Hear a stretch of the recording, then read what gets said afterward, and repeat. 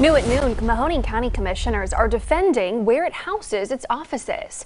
Yesterday, an audit looked into the Oak Hill Renaissance Center. Officials say the place has lost $25 million since the county acquired it.